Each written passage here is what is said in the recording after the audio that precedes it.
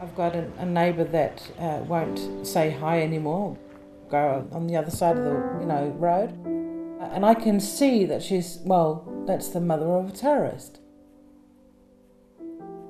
Family members can't cope with it because it's not only losing a kid, but it's the other thing, the whole terror aspect. You know, how could this happen?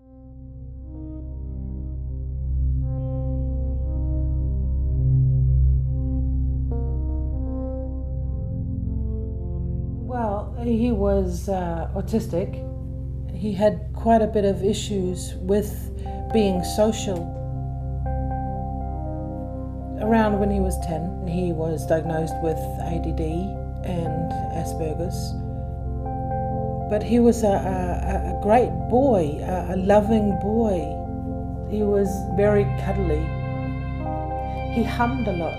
Whenever he was in a good place, he hummed.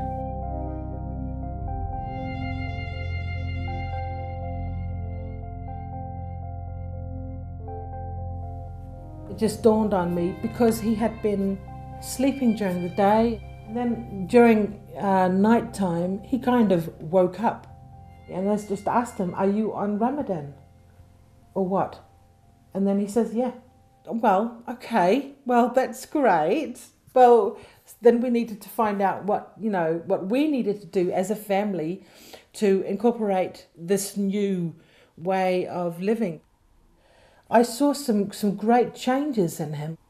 All of a sudden, he had, you know, empathy. He was more and more interested in what's going on. And this is, you know, thanks to Islam. If only the right Muslim had been in contact with my boy, if only we had seen the signs that this was leading towards something bad.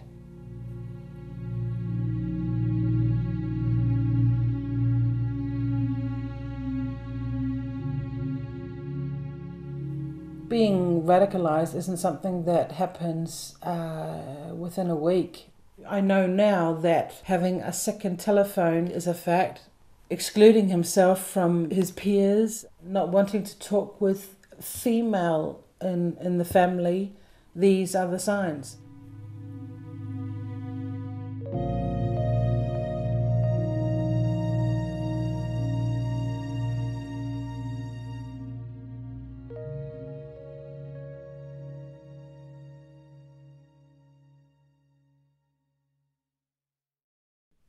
I tried to get a hold of him. I couldn't. He called me then a couple of days after he left. He says he's uh, on a vacation. He needed to get away. He told me that he needed to do something with his life.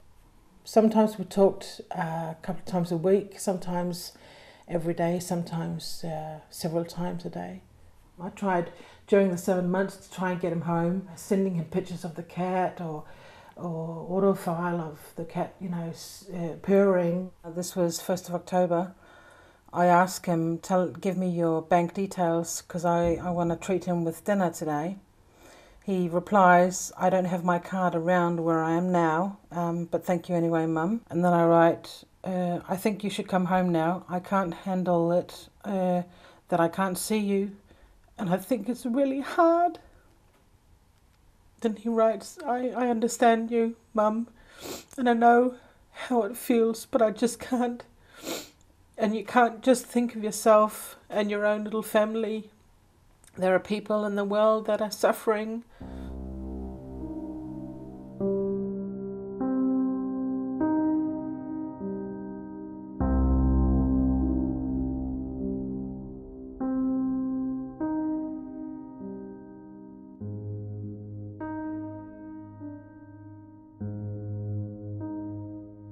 I searched through the whole thing and I saw, you know, pictures of people that were dead. Some videos I saw ISIS uh, beheading someone.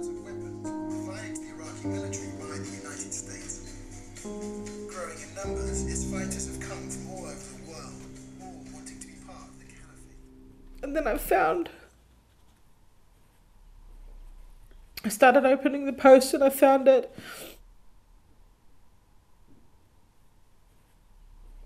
This is probably an AK 47.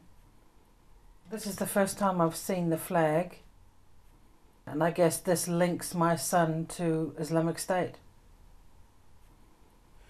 I saw some of the comments was like, um, bless him and may he find paradise and may Allah accept him. And I started screenshotting and sending note to the whole admin.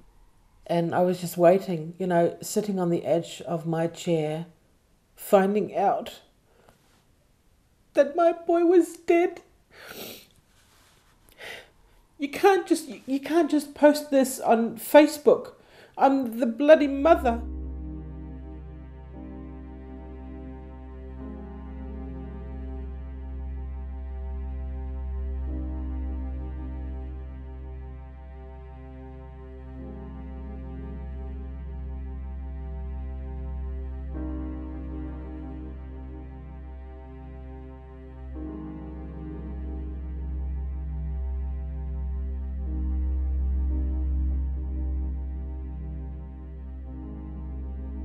Uh, I miss you, uh, I want to hug you, I want to smell you, and I want to hold your, your soft hands in mine and smile at you.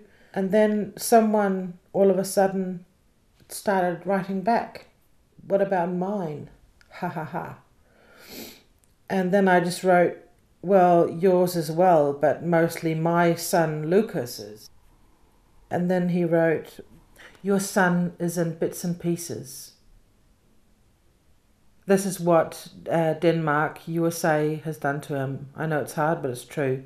And then I just write, You got an ugly mouth. Shame on you. This is hard for a mother to all of a sudden send her love to her boy that she can't talk with, she can't connect with, and for someone else to reply that's that's invading and at the same time, I know that these other kids, they're just like my boy.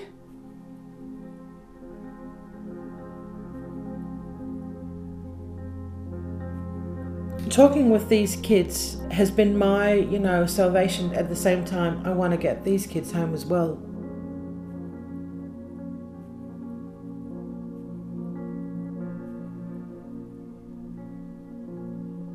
Struggling for survival. I'm struggling for, for trying to cope with everything and I'm doing the right thing. I'm I've gone public. I'm telling the world what a fucked up thing I'm going through, trying to prevent this from happening to anyone else, trying to connect with parents, with mothers going through this. They're not alone. Connect with me. You're not alone.